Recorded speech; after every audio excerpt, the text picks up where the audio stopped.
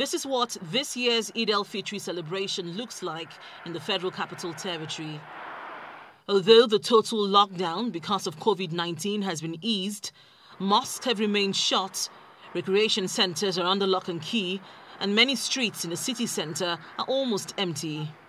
Many residents are celebrating Eid al-Fitr in their homes. But some merrygoers attempting to visit the Millennium Park are turned away by security personnel.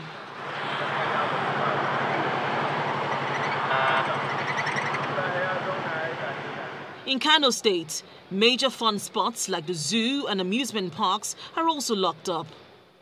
The Durbar Festival, which takes place a day after Eid al-Fitr, has been cancelled because of a lockdown which the government imposed to curb the spread of COVID-19. It's a similar scenario in Katsina State. The traditional Durbar Festival has also been cancelled because of the pandemic and the old state government house, which is the venue of the festival, is under lock and key.